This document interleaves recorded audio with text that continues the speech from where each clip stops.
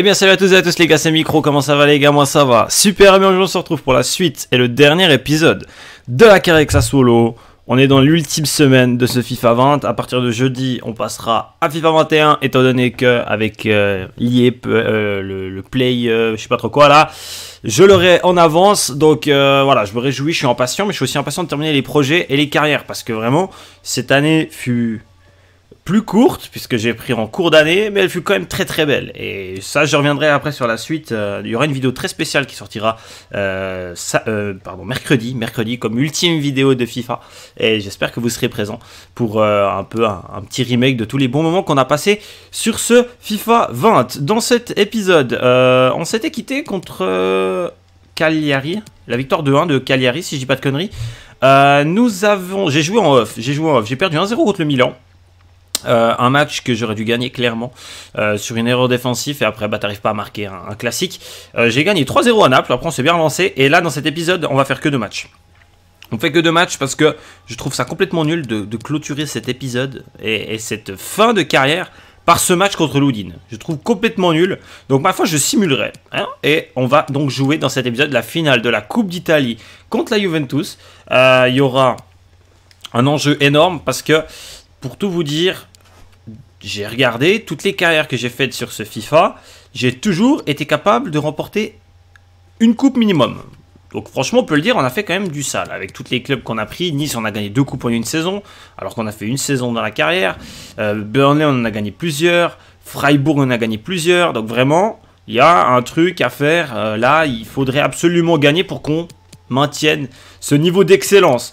Euh, donc il faudra battre la Juventus, qui est un adversaire contre qui on a quand même gagné deux fois déjà cette saison. Donc euh, j'ai bon espoir, je pense qu'il y a moyen, on, peut vraiment le, refaire, j'ai envie de le dire, puisqu'on l'a déjà fait deux fois. Et, j'espère vraiment que ça, que ça va passer.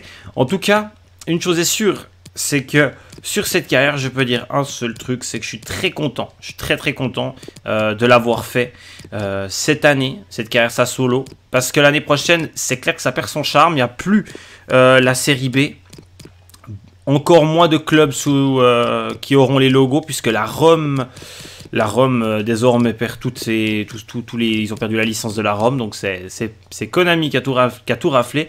Donc voilà, c'est clair que c'est vraiment dommage quand tu te dis ça, tu te dis mais c'est dingue, mais bon, je suis quand même euh, avec avec ces points-là, je suis très content quand même d'avoir fait ça solo. Je pense que c'est une très belle carrière que j'ai fait.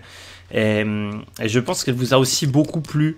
Euh, donc c'est bénéf. C'est bénéf pour tout le monde. On va aller comme ceci, je crois, pour affronter cette équipe. Euh, j'ai pas un petit... J'ai pas un défenseur central. Ou alors, attendez, je vais faire jouer Toylan. Et puis, exceptionnellement là. Et puis, en fait, j'ai oublié, mais il y a encore Petreta. Il faut que je sorte Petreta. Il est, il est quand même à, 78. Alors, on l'a acheté à, 71. Il a quand même bien monté. Euh, où est-ce qu'il est, mon petit Rogerio? Rogerio, Rogerio, il est là. Voilà. On va aller comme ceci pour y affronter cette équipe du Genoa. Pour les meilleurs moments du match. C'est parti. Allez les gars, on est parti pour cette euh, ultime match au Mapei Stadium qui aura vu quand même beaucoup de victoires. Et on est parti donc pour euh, affronter cette équipe du Genoa. Euh, vous l'avez vu, hein, j'ai annoncé la première carrière. Pour ceux qui l'ont pas vu, d'ailleurs, je vous invite à aller la voir. La première carrière a été annoncée, a été annoncée la semaine dernière. J'ai publié l'intro en fait. Euh, et, donc elle est disponible sur YouTube si ça vous intéresse d'aller voir euh, cette, euh, cette première carrière quand je la dévoile. Il s'agit donc du Stade Rennais qui je, je sais que ce sera très certainement un club qui sera beaucoup pris même par d'autres youtubeurs. Mais malgré tout je me dis que voilà c'était vraiment un club je voulais entre la transition entre le début de FIFA 21 et l'arrivée de la PS5 je voulais vraiment avoir un club qui où on peut quand même avoir un... Voilà, on peut pas créer un projet de longue durée, clairement. Hein. Et donc, il me fallait vraiment un club intéressant qui, malgré tout, a déjà une très très belle équipe. Hein. Actuellement, ils sont leaders de Ligue 1 en plus, donc c'est franchement la grande classe. Et, en plus de ça, on a les compétitions européennes, donc il y aura quand même un, bel intérêt. Il y aura quelque chose de très sympa à faire. Allez, on roule mon garçon. Oh, il la claque et la tête. Et le 1-0. Magnifique. Donc, euh, oh, c'est Dragomir en plus, ça fait plaisir. Il marque pas souvent. La frappe de Berardi, par contre, est magnifique. A savoir que le Génon a quand même perdu 4-1 chez eux. Hein, donc, euh, faut quand même, euh, on a quand même envie de, se venger, d'avoir une petite revanche aujourd'hui. Magnifique, hein, magnifique. La frappe de Berardi, l'enroulé, la spéciale du capitaine. Euh, magnifique. La claquette, elle est, elle est exceptionnelle, mais derrière, ça suit pas. Donc, voilà, je, suis très content de, cette carrière avec Rennes. L'épisode l'épisode numéro 1 sortira normalement jeudi si tout va bien. Euh, si c'est pas jeudi, ce sera ce sera vendredi euh, vendredi dans la en fin de journée.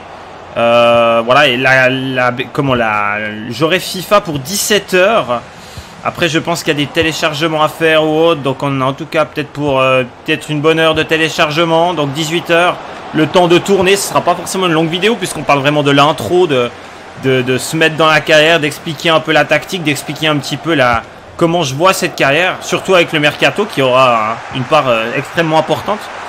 Et donc, euh, et donc euh, voilà, je, pense clairement que cette carrière, que cette carrière va être, ça, je me réjouis, je me réjouis vraiment.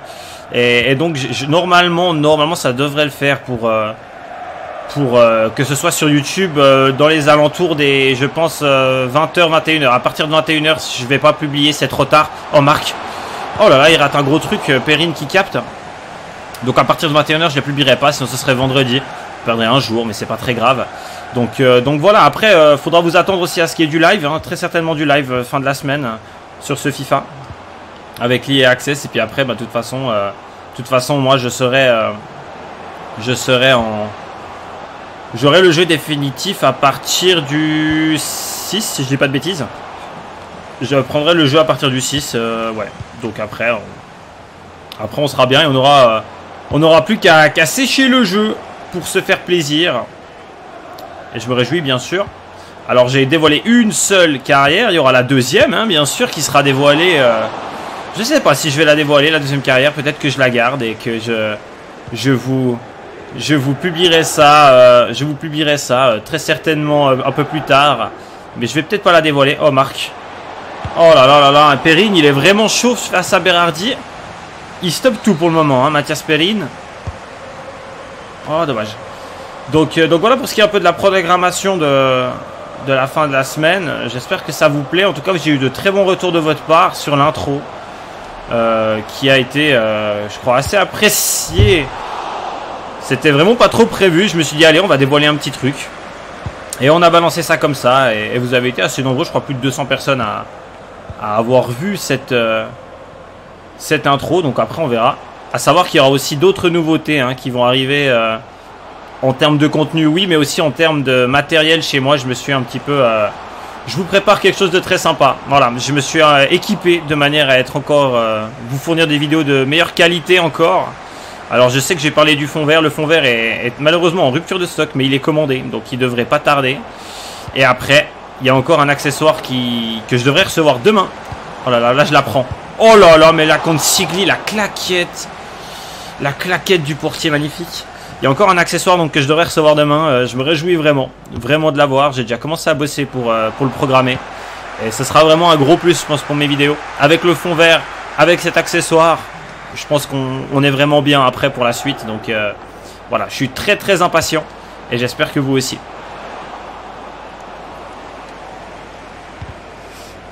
Ouais, ça passe.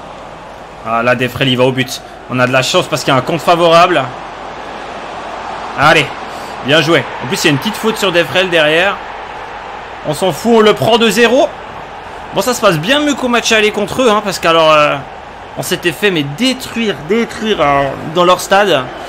On avait pris 4 à 1, on était impuissants, ils avaient vraiment été très très bons. Et, là, ben, Grégor Defrel qui soigne ses stats et qui inscrit un petit but 2-0 maintenant pour Sassuolo. C'est anecdotique, hein. je crois que de toute façon, euh, on n'a pas la troisième place qui est assurée. Mais on a euh, la possibilité, euh, de toute façon, je crois peut-être de l'assurer ce soir. Je crois qu'on a un ou deux points d'avance. Donc en cas de défaite, ça doit être le Milan ou Rome, je sais plus qui c'est derrière, qui, nous suit. Mais en cas de victoire aujourd'hui, je crois qu'on assurerait une place en Ligue des Champions pour ça Alors c'est dommage de ne pas réussir à aller défier tout le monde en, en Ligue des Champions. Ça m'aurait plu. Avec cette équipe, avec l'aspect tactique de cette carrière, ça m'aurait énormément plu. Mais ma foi, on le fera, euh, alors pas avec eux sur FIFA 21, puisqu'il y aura très certainement pas de carrière en Italie. Mais euh, peut-être, euh, peut-être, allez savoir, avec un autre club, très certainement. Oh là là là, Perrine, il est vraiment partout. Allez, vas-y, comment, vas-y. Allez, Defrel. Oh là là là là, on a affaire à un Perrine de grande classe aujourd'hui. Hein. Franchement, Après, j'ai toujours trouvé bon ce gardien. Hein. Même quand il était à la Juve, savoir que la Juve a recruté Chesney et Perrine en même temps. Et franchement, quand tu vois ça, tu te dis, mais qui? Ah bah là, c'est but. Duricic qui soigne ses stats. Euh, qui va jouer entre les deux? Parce que franchement, on a affaire à deux très très bons gardiens, hein, qu'on se le dise. Après, c'est Chesney avec son expérience peut-être, avec euh, le fait qu'il ait joué à la Rome, il avait une très bonne réputation, c'est lui qui a été choisi. Mais euh, je me suis toujours dit que Perrine, pour moi, son passage à la Juve, il a toujours été... Euh, voilà, il y a peut-être un goût d'inachevé très clairement. Aujourd'hui, si je dis pas de bêtises, il est retourné à titre définitif au Genoa. Et je pense qu'on malheureusement on l'aura plus jamais dans, notre, dans notre équipe. Mais ça reste un excellent gardien. Pour moi, c'est vraiment un super gardien. Et bon, après là, il prend 3 buts aujourd'hui, mais il en arrête quand même pas mal. Hein. Il en arrête quand même pas mal. C'est plutôt sa défense qui est un petit peu aux abonnés absents aujourd'hui. Oh là là, encore, encore, il est encore dessus. L'action est belle, ça joue très très vite chez nous. ils ont soigné, euh, ils ont soigné ce dernier match, nos joueurs. Ça fait plaisir. Voilà, victoire 3-0 euh, pour cet ultime match ici au Mapei Stadium. On aura régalé nos fans. On se sera imposé euh, avec, avec la manière, très clairement, avec la manière. Une belle équipe de Sassuolo qui confirme, qui confirme que voilà, ça a été un incroyable kiff de toute façon durant toute la saison. Je pense qu'ils ont 0 tir. Ah non, ils ont 4 tirs quand même, ok. Nous 14 tirs, on a vraiment été très très bon devant. Euh, L'Inter et Naples, vraiment il y a moyen qu'on passe devant l'Inter peut-être encore. Je sais pas s'il y, a possibilité de passer devant l'Inter. Mais là ils ont un gros choc contre Naples. Naples on vient de les battre en plus 3-0. Peut-être une petite réaction, c'est pas. En tout cas, euh, ce serait que bonus. Hein, serait que bonus. Vous voyez qu'on a la finale et le dernier match de cette coupe. De cette fantastique Coupe d'Italie où on a vraiment mis, euh, bah, on a toujours mis beaucoup d'espoir dans cette compétition parce que le, but était clairement pour nous d'aller le plus loin possible parce qu'on savait ce qu'elle pouvait nous rapporter. Après voilà, on affronte pour moi la, bah, meilleure équipe d'Italie, hein, clairement. Hein. ils sont leaders de Serie A, ils sont en finale de coupe, ils ont la possibilité de faire le doublé. Donc il va falloir réussir un gros match contre cette équipe de la Juventus. Ça va être très très chaud. Normalement, je dois avoir l'équipe 1 qui est, à 100%. Hein. Euh, peut-être un Berardi un peu fatigué. Mais, mais voilà, Berardi fatigué. Sinon, l'équipe est à 100%. On va aller comme ceci. On va pas se poser de questions. Euh, on va directement se retrouver donc. Euh, je pense qu'on joue à l'Olympico. Si, si c'est pas bugué, ça doit jouer à l'Olympico ce, match. Pour les compositions des équipes, à tout de suite. Allez les gars, on y est. Stadio Olimpico de Rome pour cette finale de la Coupe d'Italie euh, entre Sassuolo et la Juventus.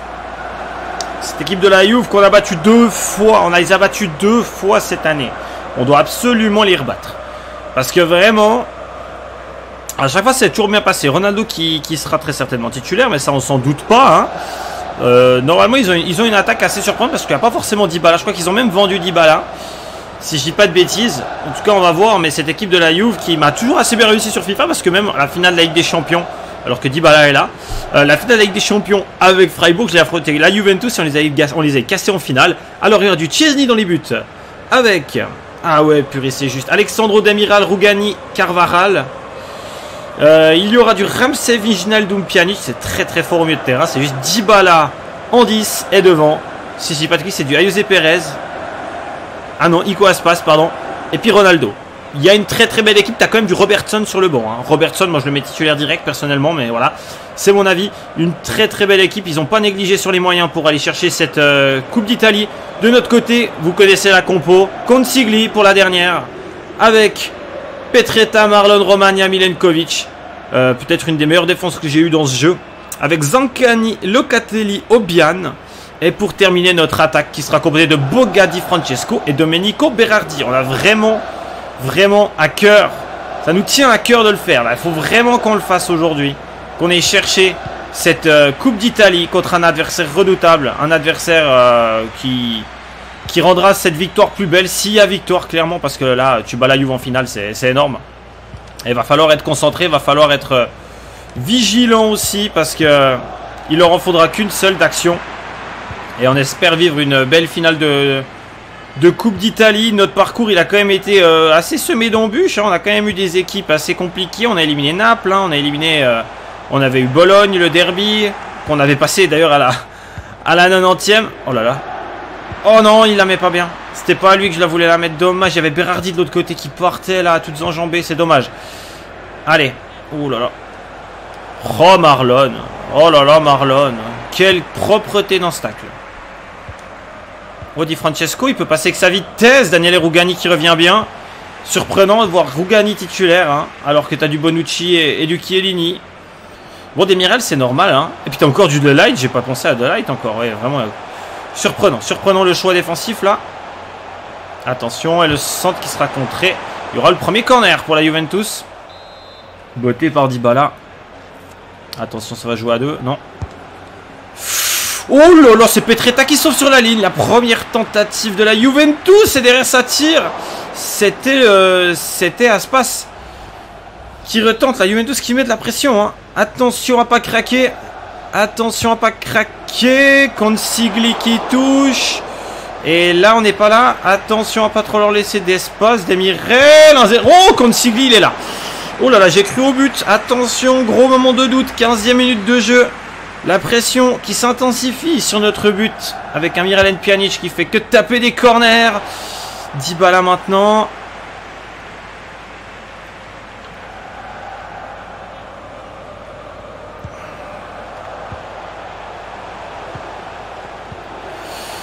Attention maintenant, Ronaldo, la balle c'est Rogmania qui vient bien intervenir et qui peut ressortir cette équipe. Maintenant Milenkovic, la contre-attaque c'est peut-être comme ça qu'on va se montrer dangereux nous. C'est peut-être comme ça mais il faudrait être beaucoup plus précis, dommage. Wijnaldum, attention, à nouvelle possibilité là et c'est Romagna qui capte et là faut ressortir propre. Oh là là là là là là, les contre-attaques, on a dit qu'il faut aller dangereux, la possibilité, Jérémy Boguin, Jérémy Boguin, il tire à zéro. Incroyable, 28e minute de jeu, je l'ai dit. Le match, ça se sent. Ça va être une domination turinoise, ça c'est sûr. Ça c'est sûr. Ça va être domination turinoise, il va falloir jouer en contre et c'est en contre-attaque. Heureusement, Boga, il joue très très bien. J'ai presque eu peur que le défenseur me revienne dessus. Mais la contre-attaque, elle est mortelle. Et ça part de Mattia euh, Zaccani. Et la frappe derrière, elle est magnifique. Allez, 1-0 pour Sassuolo contre le cours du jeu, clairement. Hein, contre le cours du jeu. Mais on va pas se le cacher que vu le niveau que montre la Juventus, on a tout intérêt à transformer ces cadeaux qu'ils nous font. Et là, euh, heureusement, on la, met au fond. Alors ça a bien refroidi les fans de la Juve, qu'on les entend un peu moins dans ce stade. 1-0 dans cette finale.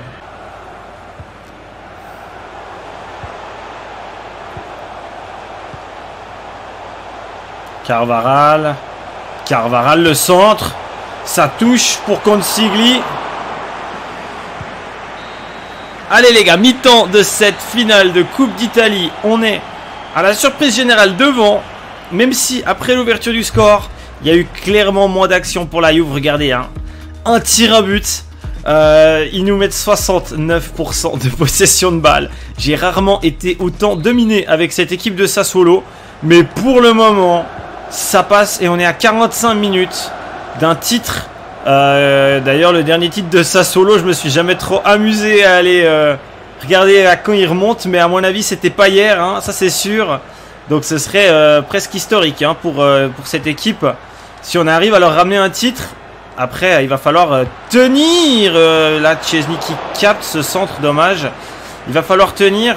Et bon, on va pas se le cacher, la Juventus a de très bonnes réserves sur son banc aussi, donc on n'a pas encore gagné. On n'a pas encore gagné ce match. Il va falloir rester très concentré. Il va parvenir à l'avantage. Ronaldo qui se fait contrer. Heureusement, la frappe derrière, c'est capté par contre Sigli. Il va falloir rester donc très concentré. Et surtout, euh, ne pas se précipiter. Et, éviter justement ce genre de relance de merde là, qui était un peu dangereuse. Allez, Locatelli Locatelli, allez, Di Francesco, qu'on n'a pas beaucoup vu, mais on a affaire à un excellent Daniele Rugani, mais il est passé, Di Francesco, Di Francesco, pour monsieur, non, non, non, tu peux pas rater ça, tu peux pas rater ça, c'est qui? C'est Zancani qui a raté ça? Le centre et ça capte, oh la possibilité, la possibilité, c'est pas possible, oh oui, oh c'est cadeau, il y a hors-jeu, non, il y a hors-jeu, j'y crois pas, c'est quoi, c'est quoi, il est en train de se passer n'importe quoi dans ce match, c'est en train de se... ça part en cacahuète, incroyable. Attendez, il y a hors-jeu?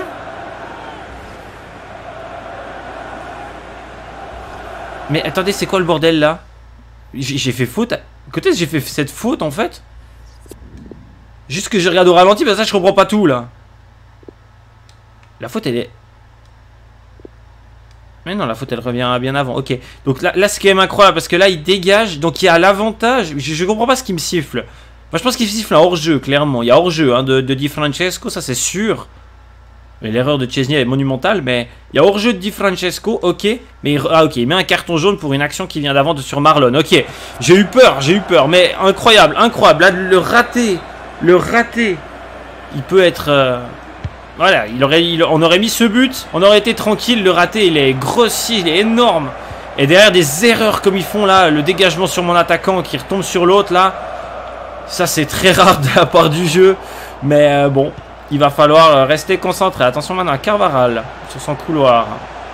Et là ça pousse. Là on est dans les dernières minutes du match là. Faut pas se louper. Traoré l'interception qui est importante. Et là on peut repartir avec un nouveau Jérémy Boga qui va se précipiter devant. Et qui aura peut-être la possibilité de devenir le héros. Le héros. Le héros. Le héros. Le héros de cette finale incroyable. Ça va être la victoire. Jérémy Boga faites-lui une statue. C'est bon, c'est fait. Oh là là, le but il est magnifique. Oh là là, j'aurais dû tirer. J'hésitais en- entre enrouler et frapper en force. Et Jérémy Boga qui passe des mirelles, qui envoie une grosse frappe. Est-ce que le gardien la touche? En tout cas, la frappe elle est incroyable. hein. Non, non, non, non, il la touche pas. Elle est simplement pure. Elle est magnifique cette frappe. Et à la 88e minute de jeu, c'est ses deux buts. Il a mis deux buts en coupe, c'est deux fois en finale. Faites-lui une statue. Jérémy Boga qui va donner cette euh, Coupe d'Italie à Sassuolo alors que la Juve aura euh, bah, au final euh, quand même mérité beaucoup mieux. On va pas se le cacher. On peut on est chanceux, on est chanceux. Allez, une dernière peut-être avec Di Francesco. Di Francesco qui va sur le capitaine. Le capitaine, il est complètement crevé, il rate sa frappe. C'est fini. On est champ- champion, on remporte la Coupe d'Italie grâce à un doublé de Monsieur Jérémy Boga. On aura battu trois fois la Juventus cette saison. On aurait été sa bête noire. Et qu'on aurait mérité, on méritait pas autant, je pense, aujourd'hui, parce que clairement la Juve, elle a été meilleure. Et, on a su jouer sur nos forces et la contre-attaque. Et ça a toujours été un de nos gros points forts avec cette équipe. Et donc Sassuolo qui remporte la Coupe d'Italie. Et Berardi, Berardi qui était crevé à la 60e, on me proposait déjà le changement à la 60e, j'ai dit non. Si je dois soulever ce trophée, c'est avec Monsieur Berardi. Et, et je ne l'ai pas fait sortir, j'ai joué là-dessus. Et, heureusement, heureusement, on arrive quand même à la gagner. Et, il va pouvoir donc soulever cette coupe. Domenico Berardi, notre capitaine, qui soulève cette coupe d'Italie pour Sassuolo. Magnifique. Magnifique. Quelle prestation aujourd'hui. Vraiment un match solide. Et j'ai souffert. Oh là, j'ai souffert. J'ai rarement eu aussi peu le ballon dans un match, je crois. Clairement, autant c'est c'est vraiment énorme. Ils nous ont mais archi dominé. C'était incroyable. Bravo, bravo, franchement, à cette équipe de. À cette équipe de. De la Juve. Même si sur le papier, ils sont largement meilleurs que nous, hein, mais. Ils, ont, ils méritaient pas, ils méritaient pas peut-être, ils méritaient quand même de marquer, je pense, au moins un but, au moins un but. Et donc Berardi qui soulève le trophée et qui permet à Sassuolo euh, d'écrire, euh, je pense, une des plus belles, euh, une des plus belles lignes de son histoire, très clairement, parce que des victoires, franchement, moi j'ai jamais, de ma, depuis que je suis né, j'ai jamais vu Sassuolo gagner quelque chose. Et je suis bien la Serie A pourtant. Voilà, exceptionnel. Cette équipe, et franchement, ça, ça, ça fait plaisir de finir la carrière là-dessus parce que ça a vraiment été un kiff. Ça a vraiment été un groupe que j'ai surkiffé cette carrière avec Sassuolo. Et finalement, on a même plus de tirs que. Alors, on a bien repris la possession de balle en, deuxième, mais on a quand même, pris 10%, mais on a quand même été dominé. Jérémy Boga qui finit homme du match, ça, y a pas de doute là-dessus, avec un 9,3. Et on est donc euh, vainqueur de cette Coupe d'Italie. Magnifique, c'est vraiment la grande classe. On aura fait un perfect, les gars. On aura tout raflé. Euh, quasiment tout. Ouais. On a. Alors, j'ai constaté un point, c'est que j'ai jamais gagné un championnat. J'ai jamais gagné le championnat. C'est peut-être la petite note noire euh, du tableau. On n'a pas été capable de gagner un championnat. C'est triste. Après, on sait que cette année, FIFA, c'était un peu le bordel. Les championnats, le champion, il finissait à 100 points à chaque fois. C'était, fallait quasiment faire un sans faute. Je vais simuler avec vous ce dernier match contre Loudin, parce j'ai vraiment pas envie et j'ai pas le temps non plus. Mais euh, on va le simuler. Et vous voyez, hein, on aura fait une saison, les gars, exceptionnelle. 86 points, je pense que ça n'a jamais été fait dans l'histoire de Sassuolo, ça aussi. Pourtant, c'était mal parti. Hein. Rappelez-vous l'épisode numéro 1, on n'arrivait pas à marquer. On avait une défense de feu, mais alors on n'arrivait pas à marquer. On finit par un match nul. Les gars étaient fatigués contre cette équipe de l'Udinese. On va donc faire un rapport d'équipe. On va faire un rapport d'équipe pour clôturer cette belle aventure avec Sassuolo. 87 euh, points au final, c'est grandiose, c'est magnifique. Alors, rapport d'équipe, je ne vais pas vous parler de tout le monde, je vais vous parler vraiment des principaux joueurs de cette équipe. Consigli, j'ai pas grand chose à dire sur lui. Vous savez déjà que dans mon équipe de FIFA, pour moi, clairement, je l'aurais mis gardien. Vous avez choisi Benitez, je respecte, mais pour moi, contre Sigli, c'est de loin le meilleur gardien que j'ai eu sur, cette, sur toutes les carrières confondues. Énorme. Andrea Consigli, ça a été juste monstrueux. Dommage qu'il soit si vieux, 33 hein, ans, même si pour un gardien, il a encore quelques années, mais voilà. Rogerio, un bon petit Brésilien. Euh, peut-être que, voilà, intéressant. Il a cette capacité à jouer aussi sur les au milieu, euh, au milieu gauche. Donc euh, franchement, un, bon joueur, un bon joueur qui était une bonne doublure. Raoul Petretta qui a été pour moi une des belles révélations cette saison parce qu'on a joué. On a joué, euh, ouais, on a, pris le risque avec lui du FC Bâle à 23 ans, tu sais, enfin il avait 22 ans quand on l'a acheté, il avait 71 de général, ben 68 à la fin, 78 euh, pardon à la fin, donc c'est juste exceptionnel. Raoul Petretta qui aura été indétrônable, hein, indétrônable sur son couloir. Euh, lui, on a ensuite Milenkovic que vous connaissez déjà très très bien, qui a eu une petite euh, un petit up euh, qui est de loin le joueur le, plus irréaliste de cette carrière parce qu'il serait jamais venu à Sassuolo en vrai. Mais voilà, on avait envie de le retester et il a été très très bon. Je le vois plus en tant que défenseur central, mais voilà. Euh, Mangani, très très bon lui aussi, hein, euh, qui, est un joueur d'avenir et qui a bien progressé en plus 5 cette saison, c'est énorme. Romagna qui est prêté. très clairement, j'aurais été le chercher, j'aurais été l'acheter pour la suite s'il y avait une saison 2 Romagna parce qu'il a été exceptionnel pour moi ça a été un, un des tout tout bons en défense Peut-être l'un des meilleurs aussi, c'est Marlon. Hein. Euh, on l'a vu dans cette finale, il a été aussi très très bon, le Brésilien de 24 ans, qui a, fait un bon petit up et je pense qu'il peut facile atteindre les 80. Lui, il atteint facile les 80. Donc un super joueur. Brindelli qui est arrivé à l'intersaison, qui a pris un plus 2, qui a joué quand même quelques matchs, donc c'est pas mal. Euh, nous avions Toylan qui était la doublure de Brindelli. Pas grand chose à dire sur lui, si ce n'est qu'il a été assez bon. Il est, il est allemand, Toylan, hein, ça c'est intéressant. Si tout d'un coup tu dois faire un petit truc assez réaliste pour une carrière, ça peut être toujours intéressant de savoir que Toylan est là. Un des grands hommes, et d'ailleurs euh, un joueur que vous avez nommé dans l'équipe de l'année, je suis tout à fait d'accord avec vous, c'est Locatelli. 22 euh, ans, l'Italien, qui s'est clairement relancé à Sassuolo et qui, qui, qui, est, un un, joueur d'avenir très clairement. Il était à côté de lui, il y avait Obian, hein, qui lui aussi a été très très bon, le, garçon de 28 ans, qui euh, a très bien complémenté. C'était vraiment un milieu de terrain très solide hein, qu'on avait. C'était un des plus beaux milieux de terrain, je pense qu'on ait eu euh, en termes de. Quand tu prends l'équipe, franchement, l'équipe elle était top. Mais alors, le milieu de terrain, il n'y avait rien à toucher. On avait en doublure le petit Vieira, qui a pris quand même un plus 2, l'anglais, euh, qui arrivé de, de la Sampdoria, qui a pris qui a, fait, son taf, qui a son taf, qui a marqué aussi quelques buts, donc ça fait plaisir. Euh, nous avions encore Monsieur Dragomir, et Dragomir, pour la petite histoire, je l'ai pris dans une carrière un peu gestion, où j'ai quasiment plus de 10 ans dans la carrière, je l'ai quand même monté à 90 de général, euh, le petit Dragomir, donc c'est vraiment un énorme crack si vous le faites jouer. Et, il a très bon, et, il, a su, il a su prendre du temps de jeu, donc ça a fait plaisir. Il y avait Sensi, qui était la grande discussion si on le prenait au début ou pas, bah, clairement il serait revenu chez nous. Qu'est-ce qu'on aurait fait avec Sensi? Je pense que je l'aurais vendu, clairement. Je l'aurais vendu parce que. Parce que voilà, hein, j'aurais euh, gagné énormément d'argent avec sa vente. Zankani Oh là là, Zankani le, duel Zankani-Duricic, ça nous a fait transpirer. Il a fallu des épisodes, des épisodes pour que l'un prenne vraiment le dessus sur l'autre. Finalement, c'est Zankani qui a quand même pris un petit plus. Mais voilà, très très bon joueur qui a eu de la peine à s'intégrer qui a eu de la peine à marquer, mais dès qu'il a marqué ce point 8, ça l'a vraiment délivré et il a quand même mis quelques buts. On verra les stats à la fin. Traoré, lui aussi, prêté, par, euh, prêté par je ne sais qui d'ailleurs. Je crois que c'est la Fiorentina. Très clairement, j'aurais été le chercher, lui aussi, très très bon. Duricic, un joueur de, l'équipe de base qui était clairement qui fait le taf, qui était une très bonne doublure pour Zancani, qui a été un joueur qui a permis aussi euh, une très très bonne concurrence, une concurrence très très saine. Jérémy Boga, vous l'avez vu, le buteur de cette finale de Coupe d'Italie qui est très intéressant. Je pensais qu'il allait up plus vite, mais ma foi. Euh, plus 1 pour lui, c'est voilà, c'est le minimum, je dirais. Euh, Di Francesco, qui était un petit peu, je pense, le, pari, le pari de la mi-saison.